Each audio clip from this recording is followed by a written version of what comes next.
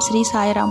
ஓம் ஸ்ரீ சாய்ராம். நம் சாயன்பர்கள் அனைவருக்கும் வணக்கம். நம்ம சேனலில் இப்போ தான் நீங்கள் ஃபஸ்ட் டைம் வீடியோ பார்க்குறவங்களா இருந்தீங்கன்னா சப்ஸ்கிரைப் பண்ணிடுங்க சப்ஸ்கிரைப் பண்ணிவிட்டு பெல் பட்டனை கிளிக் பண்ணி ஆளுங்கிற ஆப்ஷன் கொடுத்துருங்க. அப்போ தான் நான் போடுற பதிவு உங்களுக்கு உடனுக்குடன் நோட்டிஃபிகேஷனில் வரும். அப்படி நோட்டிஃபிகேஷனில் வந்த உடனே அந்த பதிவை பார்த்து அதனோட முழு பலனையும் பயனையும் நீங்கள் அடையணும். அதுதான் என்னோட விருப்பம். சாயப்பாவின் அன்பு கட்டளை. ஓகே ஃப்ரெண்ட்ஸ் இன்று பிறந்திருக்கும் அனைத்து மல்லை செல்வங்களும் நூறாண்டுகள் வாழ வேண்டும் என்றும் சாயப்பாவின் பரிபூர்ண அருளும் ஆசீர்வாதமும் கிடைக்கும் என்றும் இன்று திருமண நாள் கொண்டாடும் அனைத்து திருமண தம்பதிகளுக்கும் சாயப்பாவின் பரிபூர்ண அருளும் ஆசீர்வாதமும் கிடைக்கும் என்றும் இன்று பிறந்தநாள் கொண்டாடும் குழந்தைகள் முதல் பெரியவர்கள் வரை அனைவருக்கும் சாய்ப்பாவின் பரிபூர்ண அருளும் ஆசீர்வாதமும் கிடைக்கும் என்றும் உங்களுக்கு என்னுடைய இனிய திருமண நாள் நல்வாழ்த்துக்களையும் இனிய பிறந்த நாள் நல்வாழ்த்துக்களையும் தெரிவிச்சுக்கிறேன். இன்றைக்கி நீங்கள் எவ்வளோ சந்தோஷமாக இருக்கிறீங்களோ அதே போல் தான் என்றென்றும் இருக்கணும் இனி இருப்பீங்க.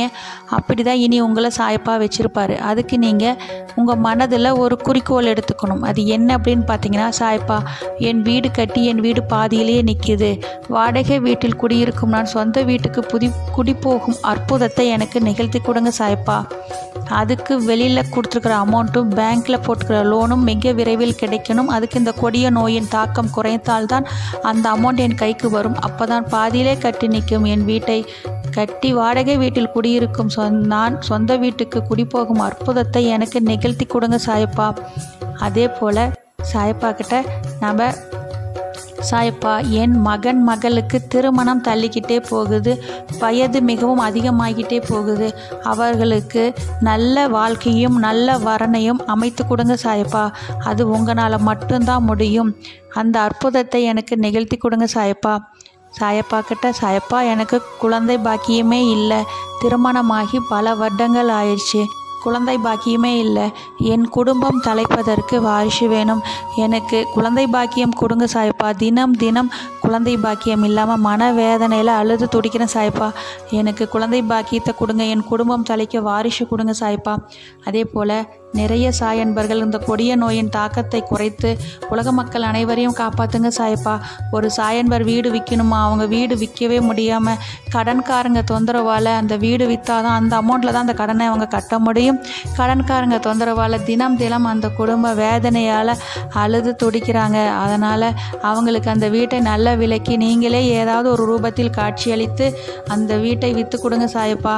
உங்களால் மட்டும்தான் முடியும். முழு நம்பிக்கையோடும் பொறுமையோடும் கா காத்திருக்கிறோம் சாய்ப்பா. இனி அனைத்தும் வெற்றியே. இன்றைக்கி நம்ம பார்க்க போகிற பதிவு ரொம்ப ரொம்ப முக்கியமான பதிவு. நாம் இவ்வளவு சம்பாதிக்கிறோம். ஏன் நம்மக்கிட்ட பணமே தங்க மாட்டேங்குது? ஏன் நம்ம வந்து பணம் வர்ற வருது தெரியுது? மாதம் மாதம் வருது. வீட்டில் இரண்டு பேர் மூன்று பேர் நான்கு பேர் சம்பாதிக்கிறோம். வர்ற இடமே தெரியல. மீண்டும் அது கடன் கட்டுவதற்கே வந்த இடம் எப்படி வந்ததோ அப்படியே போயிடுது நம்மக்கிட்ட ஏன் பணம் தங்கலை? அப்படின்னா நம்மக்கிட்ட குலதெய்வம் நம்ம வீட்டில் இருக்கணுங்க. நம்ம குலதெய்வ வழிபாடு மேற்கொள்ளணும். அதே போல் நமக்கு வந்து மகாலட்சுமியின் பரிபூர்ண அருள் நிறைந்திருந்தால் செல்வம் பல மடங்கு பெருகும். அதுக்கு உங்களுக்கு ரொம்ப ரொம்ப முக்கியமான ஒரு சில விஷயங்கள் உங்களுக்கு இதில் சொல்கிறேன் அதில் என்ன பண்ணணும் அப்படின்னு போனால் நான் சொல்கிற இந்த ஏழு பொருளை மட்டும் நீங்கள் நான் சொல்லுவது போல் கட்டி வீட்டின் நிலைவாசப்படியில் நீங்கள் கட்டி வச்சு வழிபட்டு பாருங்கள் அதுவும் வீட்டு நிலைவாசப்படியில் உள்ளே தான் நீங்கள் கட்டணும். இப்படி கட்டி அது பிரம்ம முகூர்த்த நேரத்தில் வழிபடும்போது உங்களுக்கு நீங்கள் நினைத்த காரியம். எட்டே நாளில் இன்றைக்கி நீங்கள் வழிபட்டீங்கன்னா அடுத்த வாரம் அப்படியே எட்டு நாளில் உங்களுக்கு கை மேலே பலன் கிடைக்கும். அது எப்படி அப்படின்னு பார்க்கும்போது அதுதாங்க அந்த பிரம்ம முகூர்த்த நேரத்தில் செய்யணும். அதுக்கு நீங்கள் முதல் நாளே வீடு வாசலில் சுத்தப்படுத்திடுங்க நீங்கள் எழுந்து காலை நேரமாக எழுந்து குளித்துட்டு பிரம்ம முகூர்த்த நேரத்தில் தான் செய்யணும். அந்த நேரம் எப்போ அப்படின்னு பார்த்தீங்கன்னா நாலரை மணிலிருந்து ஐந்து மணிக்குள்ளே தான் நீங்கள் இதை செய்யணும். அப்போ நீங்கள் என்ன பண்ணணும்? ஒரு சிகப்பு கலர் துணி எடுத்துக்கோங்க. அந்த பிரம்ம முகூர்த்த நேரத்தில் செய்து வழிபடும் போது உங்களுக்கு பலன் பல மடங்கு அதிகமாக கிடைக்கும். அப்போ வந்து நீங்கள் அந்த சிகப்பு துணியில் ஒரே ஒரு விரலி மஞ்சள் வைக்கணும். நீட்ட மஞ்சள் தான் வைக்கணும். குண்டு மஞ்சள் வைக்கக்கூடாது. அது கூட பச்சை கற்பூரம் இருக்குது இல்லைங்களா? அது வந்து மூணு துண்டு வைக்கணும். ஒரு ரூபா நாணயம் ஒன்று வைங்க. அதுக்கப்புறம் மஞ்சள் தூள் கொஞ்சம் வைங்க குங்குமம் கொஞ்சம் வைங்க சந்தனம் ஒரு வில்லை வைங்க. அதோட திருநீர் விபூதி கொஞ்சம் வைக்கணும். இந்த ஏழு பொருளும் சேர்த்து அப்படியே போட்டு மூன்று முடிச்சு கட்டிடணும். கட்டிட்டு அது வீட்டு நிலைவாசப்படியின் உள்ள நீங்கள் எடுத்து பிரம்ம முகூர்த்த நேரத்தில் கட்டிட்டு அதுக்கு ஊதுபத்தி சாம்பிராணி கற்பூர ஆரத்திலாம் காமிச்சு வழிபட்டுக்கிட்டே வாங்க. டெய்லியுமே நீங்கள் காலையில் எழுந்து கட்டிட்டு அதே போல் காலை மாலை தீபம் ஏற்றி வழிபடுங்க. அதே போல் அடுத்த நாளும் அதே போல் எழுந்து பிரம்ம முகூர்த்த நேரத்தில் குளித்துட்டு நீங்கள் அந்த சிகப்பு நிற துணியில் நம்ம கட்டி வச்சுக்கிறோம் இல்லைங்களா? அந்த பொருளுக்கு நீங்கள் பிரம்ம முகூர்த்த நேரத்தில் வழிபட்டு தீபா ஆராதனை காமிச்சிட்டு வாங்க. இப்படி செய்யும்போது உங்களுக்கு குலதெய்வத்தோட அருள் நிறைந்து இருக்கும் அதே போல் நமக்கு வந்து மகாலட்சுமியின் பரிபூரண அருள் நிறைந்திருக்கும். வீட்டு நிலைவாசப்படிக்கு உள்ளே கட்டும்போது நம்ம வீட்டில் மகாலட்சுமி தாய் வந்து உள்ளதாக தங்கணும்.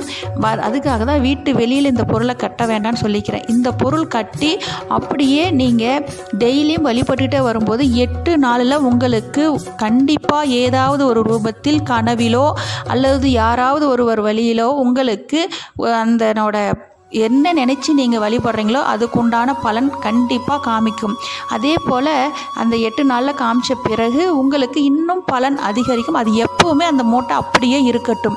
ஆறு மாதம் ஒரு நீங்கள் இல்லை ஒரு வருடம் கழித்து நீங்கள் வீடு பெயிண்ட் பண்ணுறதோ சுண்ணாம்பு அடிக்கிறதோ சுத்தப்படுத்தும் போது வேணும்னா அந்த மூட்டையை மாற்றிக்கலாம் அது மாற்றும் போதும் அதில் இருக்கிற பொருளை கால்படாத இடத்துல போட்டுட்டு மீண்டும் புதிதாக துணி எடுத்து அந்த சிகப்பு நிற துணியில் இதே அதே போல் எப்பவும் அந்த இடத்துல நிரந்தரமாக எப்போவுமே வீட்டு நிலைவாசப்படிக்குள்ளே வச்சு கட்டிட்டு இதே போல் வழிபட்டுக்கிட்டு வந்து பாருங்கள் உங்களுக்கு பலன் பல மடங்கு அதிகரிக்கும்.